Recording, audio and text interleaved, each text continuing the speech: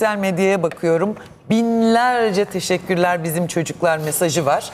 Ee, Özgür Özel bir mesaj paylaştı. Avrupa Futbol Şampiyonası'nda çeyrek finalde elenen A milli futbol takımımızı oynadıkları güzel futbol ve bize yaşattıkları heyecan nedeniyle kutluyorum. Teşekkürler bizim çocuklar diyor. İstanbul Büyükşehir Belediye Başkanı Ekrem İmamoğlu da bizim çocuklar bu turnuvada 86 milyonu gururlandırdı. Her şey için teşekkürler milli takım e, diyor. Böyle buna benzer binlerce mesaj var sosyal medyada. E, elendik ama futbolun güzelliği kaldı sanki. Ya Mustafa Yani Kemal ben Atatürk'ün en çok şuna şuna seviniyorum Ayhan. Siyaset kirletemedi sanki. e, gerçekten çok temiz bir oyuncu grubu var. Bu arada şunu da paylaşayım. Biz Euro 2016 ve Euro 2020'ye katıldığımız dönemlerde bazı oyuncular mesela prim krizi çıkarmışlardı.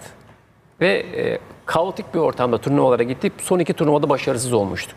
Bu oyuncu grubu gerçekten çok kaliteli bir grup. Hiçbir şekilde bunun pazarlığı yapılmadı. Yaş ortalaması zaten 25.2. 24 takım arasında Çekya ile beraber en genç takımdık biz bu turnuvada. Ve ilerisi için de umut veren bir oyuncu grubu var. Ee, teşekkür etmemek mümkün değil. Yani e, hani az önce de bahsetmiştim. Mustafa Kemal Atatürk'ün çok sevdiğim bir sözü var. Vatanını en çok seven görevini en iyi yapandır Evet, diye. evet. Şu kadroda baktığımda görevini iyi yapmayan oyuncu yoktu ya. Yani o mücadeleyi zaten hepimiz alkışlıyoruz. Bir de maçlarda sanki hani böyle temiz oyun derler ya. Paslaşma, Yok işbirliği. şey yani böyle itiraz hani bir, bir oyunu çirkin Hiçbir bir- şey- Bugün şekilde. çok Hatta- önemli bir şey oldu. Ayhancığım Öyle sözünü şey kestim. verdi Aslında sanki. en önemlisi ne biliyor musunuz? Bugün ben maç önü yayın yaptığımda da onu söyledim. Şimdi bizim orta sahada o çapa bölgesinde çok iyi oynayan bir İsmail Yüksek. O bölgeyi tek başına toparlayabilen.